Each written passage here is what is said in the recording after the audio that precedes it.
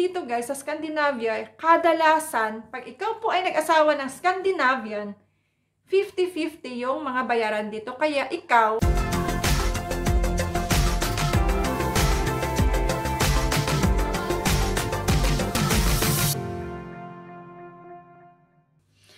guys! Welcome back po dito sa aking channel. So in today's video, yung pag-usapan natin ay kung inyong nakikita sa title ng ating video, ay ito po ay maswerte na nga ba pag ikaw po ay nakapag-asawa ng foreigner?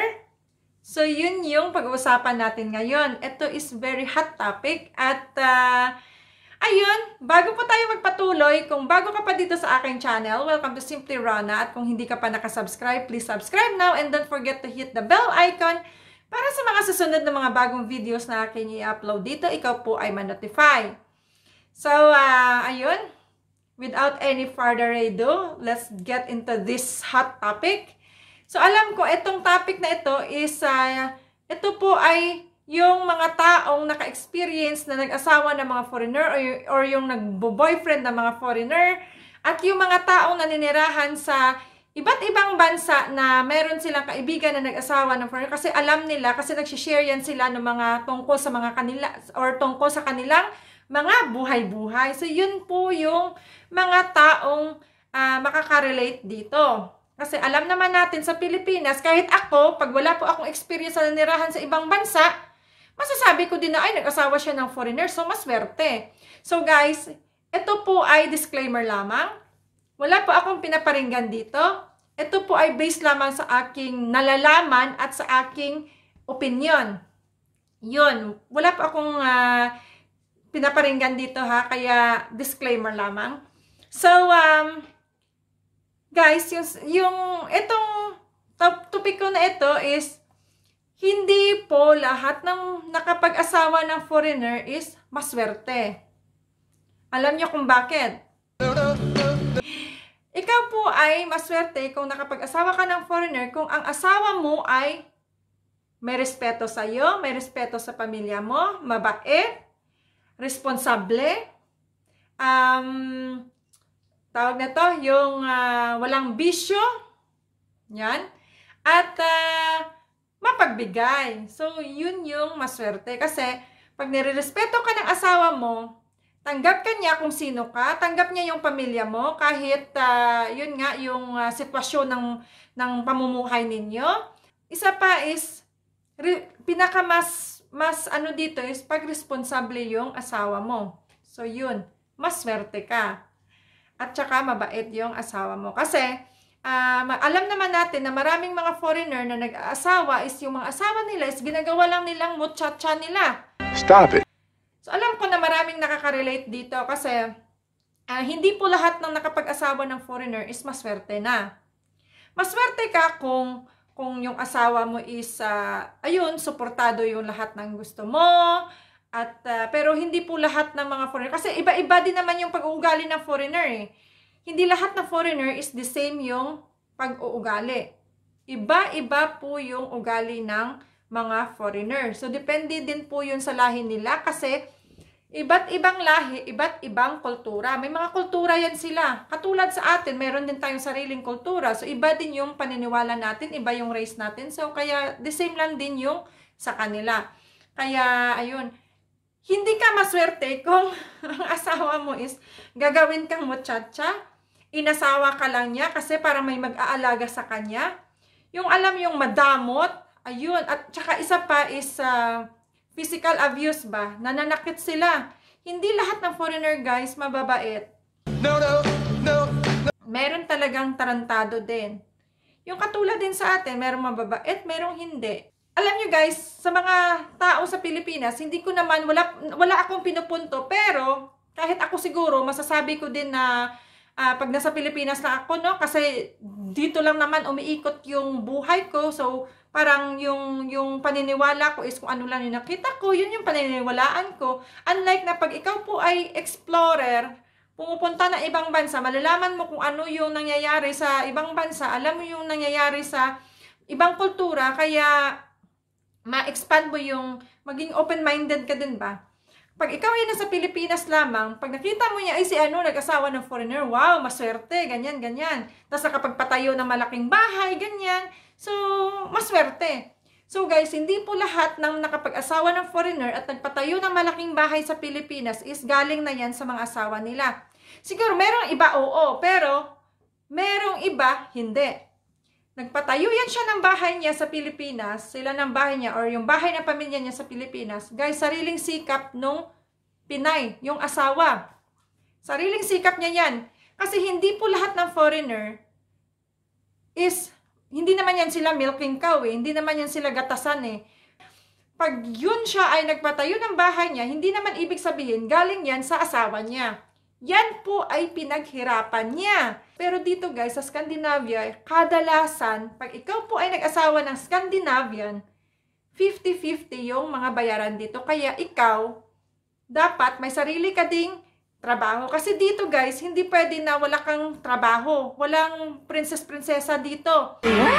Maswerte ka kung hindi ka pinapatrabaho ng asawa mo. Kung talagang suportado ka niya. Ayun, yun, yun. Doon ako bili. Maswerte ka.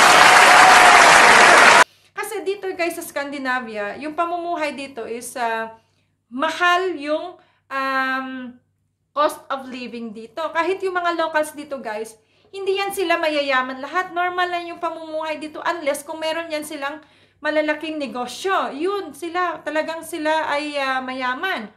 Pero hindi po lahat ng mga mga Pilipina nakapag-asawa ng mayaman. Normal lang yan guys. Normal lang yung pamumuhay nila dito. Parang sa atin lang na may normal ka na trabaho. Normal yung pamumuhay na enough na sa uh, pamumuhay ninyo araw-araw na makapag uh, bili kayo ng pagkain ninyo, makapagbayad kayo ng bills nyo, yung ganyang pamumuhay. So, simple lang po yan dito sa Scandinavia. Kaya, uh, usually dito, yung mga uh, Pilipina is talagang nagtatrabaho sila, tumutulong sila sa mga bayarin sa bills, and talagang dapat meron kang sariling trabaho kasi para meron kang may maipadala na pera sa iyong pamilya. Kasi hindi po lahat ng nakapag-asawa dito is pati pamilya mo suportado. Wala yan dito sa Scandinavia, guys. Ano yung rason nila? Ikaw lang yung asawa ko, hindi, ikaw lang yung suportahan ko. Bakit ko susuportahan yung pamilya mo? May sarili naman silang buhay.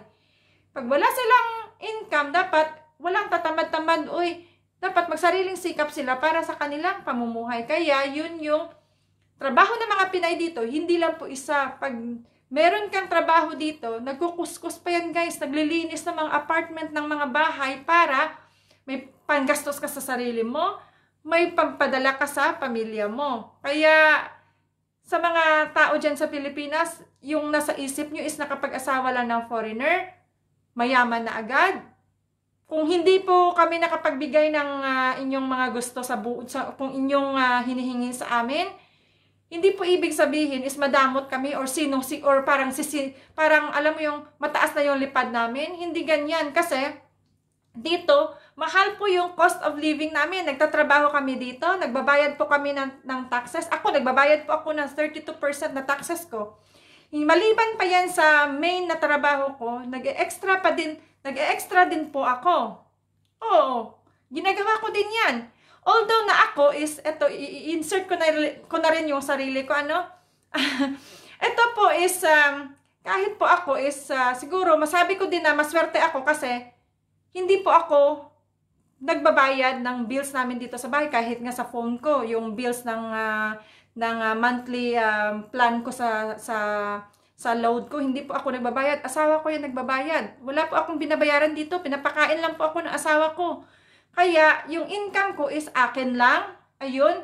At saka, yun, sinisave ko para, kasi meron din naman kami, meron kaming uh, pinaplano. So, uh, at the same time, hindi na po ako nanghihingi ng pera na, or never po ako naghihingi ng pera sa kanya na uh, ipadala sa pamilya ko. Kasi even though na mag-approach siya sa akin, every time na sabi ko, magpadala ko ng uh, pera sa pamilya ko at sasabihin niyan, magkano ipadala mo, ito, dagdagan mo, ganyan. Sabi ko, wag kasi ako na yung bahala sa pamilya ko. Yun yung sinasabi ko talaga sa kanya palagi.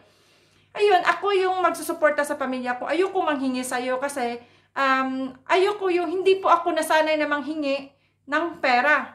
Hindi po ako nasasanay na, na hihingi ng pera sa kanya at never po ako humingi ng pera sa kanya.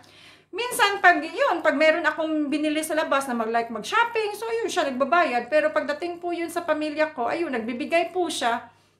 Nagbibigay din naman po siya. So, minsan, siya nagpapadala. So, kaya, maswerte, yun yung masabi ko na maswerte lang ako na ganyan yung asawa ko. Hindi po ako uh, pinagpatra, pinagpapatrabaho para pag-share kami ng bayarin dito. Siya po lahat nagbabayad yan ng bills namin. Kaya po hindi po lahat ng mga tao dito na nakapag-asawa is is mayaman. Hindi, normal lang yung pamumuhay dito, guys. Normal lang talaga, lalong-lalo nandito sa Scandinavia. Ang mahal talaga pagdating sa transportation, pagdating sa pagkain, eh, ang cost of living talaga yung pinakamahal dito sa Europa.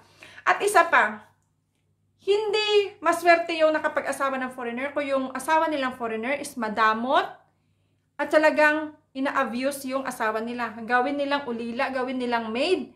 Tapos, meron din iba na hindi ka papayagan na makipag-meet up ka sa mga kaibigan, kaibigan mo. Parang gagawin kang preso. Dapat nasa bahay ka lang, magserbisyo ka sa kanya. At uh, parang, parang, parang gawin ka lang utusan ba? Parang inasawa ka lang, tapos gawin kang utusan. Yung parang ganun, yun, yun yung pinaka uh, saklap dito. No! God, please, no! No! At uh, madamot. Madamot. Meron talagang mga tao dito na madamot. Lalo-lalo na yung mga locals dito. Yun sila guys, hindi lahat yan dito is mapagbigay. At yung ugali nila, hindi po yan sila nangungutang sa mga kapatid nila or sa pamilya nila. Unlike sa atin na pag mawalan tayo ng pera or ng trabaho at mawalan tayo ng pera, Pwede tayo makapag-utang sa mga kaibigan natin, pwede tayo makapag-utang sa pamilya natin, pero sa kapatid natin. Pero dito guys, hindi yan sila. Pag mag-utang yan sila diretso sa bangko, wala yan sila sa pamilya nila. Hindi yan sila nag-uutang sa pamilya nila o sa kaibigan nila. Tapos, malas mo lang din sa asawa mo kung yung asawa mo is minsan, grabe yung, yung alam mo yung parang, ngayon is okay-okay pa kayo, tapos hindi mo alam kinabukasan, sasabihin sa'yo, ayoko na sa'yo, divorce na tayo. Yun yung pinakasaklap. Tapos yung iba guys, pinapatay pa yan sila. Maraming mga cases na mga Pilipina na namatay nang dahil sa mga asawa nila. So, hindi po lahat ng asawa is maswerte. Kung nakikita nyo maganda man yung uh, pamumuhay ng pamilya niya sa Pilipinas, ito po ay nung dahil sa sikap nung Pilipina, yung asawa nang dahil sa sikap. Oo, maswerte lang kung yung asawa niya is tumulong sa kanya. Ayun, maswerte yun. Believe ako dun. Pero, kadalasan guys is, kung nag-improve man yung pamilya niya sa Pilipinas, nung dahil yan sa asawa, sa Pilipina, hindi nang dahil sa foreigner. Kasi hindi nila talaga ugali yung mga ganyan. Kasi sila guys, marami din yan silang mga mga loan-loan dito. Marami din yan silang mga bayarin. Kaya hindi nila kaya na suportaran ang buong pamilya mo. So, yun po yung uh, talagang katotohanan, yung talagang uh, realidad ba pag ikaw po ay nag-asawa ng foreigner. Kasi, hindi po lahat pag nag-asawa ng foreigner ay maswerte. May mga maswerte at meron ding hindi sinwerte. Kaya, kaya sa inyo, kung kayo po ay nagtataka, yun po yung, uh, yun na po yung base na po sa aking nalaman. Kasi yung iba guys, talagang Meron pang cases na um, sila, uh, yung mga asawa nila is madamot na nga, ginagawa lang silang ulila, nagpapaulila lang sila kasi meron silang anak. Nang dahil lang po yan, nagsasama sila ng asawa nila, nang dahil lang po yun sa anak nila, tinitiis lang po nila. Hindi po ibig sabihin na nag-i-smile yan sila sa sa sa Facebook uh, post nila or sa mga Instagram nila, maganda na po yung kanilang uh, sitwasyon dito. Yung iba, tinitiis lang talaga nila, yung asawa nilang foreigner, na maka, para lang po na makapag-stay po sila dito kasi pag umuwi sila ng Pilipinas, anong gagawin nila? Mga ngamote? Nga nga? Sino magsusuporta na pamilya nila na umaasa lang sa kanya? O, yung iba, nagtitiis lang talaga yun guys dahil sa may anak sila at saka para makapag-stay dito. As long as na hindi naman siguro aabot ng physical abuse, hanggat makayanan pa. So, ayun, tinitiis lang po yun ng iba. Hindi po lahat is, is uh, okay, okay. At saka, maswerteng maswerte ka guys, pag ikaw po ay uh, tanggap na tanggap ng pamilya ng asawa mo. Kasi hindi po hindi naman po lahat ng mga foreigners close sila sa sa mga parents nila or sa pamilya nila. Merong mga foreigner na ayun nga mga family oriented sila. Kaya ayun, ayun mas maswerte ka kung tanggap ka talaga ng pati pamilya niya. Kasi ayun magkikita kayo minsan, magbabanding kayo. Kaya yun yung pinaka uh, maswerte diyan na parang naging part ka din ng pamilya niya. Para, para, alam mo yung everybody happy. Yung mga ganun ba? So, so, ito po guys is again, disclaimer po lamang. Ako po ay walang pinaparinggan. Ito po ay based po lamang sa aking, sa aking nalaman. And, uh, good vibes na po tayo dito. So, kung kayo po ay nag-enjoy sa ating video, please give me a thumbs up. Kung meron, kung ikaw po ay nakarelate sa ating uh, topic today, feel free lang po na isulat yan. Kung ikaw po ay uh, may experience na nakapag-asawa ng foreigner, kung feeling mo na ikaw ay maswerte, so feel free lang po na isulat yung iyong komento dito sa ating comment section. At kung ikaw naman po ay hindi pinalad, at uh, kasi meron din naman na hindi pinalad sa na naging asawa nila, so nag-asawa ulit, at saka ayun, naging maswerte sila, so na, naging maswerte sa sa uh, next nilang asawa. Kaya, ayun, pwede mo din yan i-share yung iyong experience dito sa ating comment section. So, feel free lang po na isulat yung inyong mga komento at kung meron kayong mga suggestion dyan, feel free din na isulat. And, uh, again, kung ikaw po ay bago dito sa aking channel at hindi ka pa nakasubscribe, please subscribe now. And I hope na kayo po ay nag-enjoy sa ating topic for today. Salamat sa inyong panonood and see you in my next one. Bye!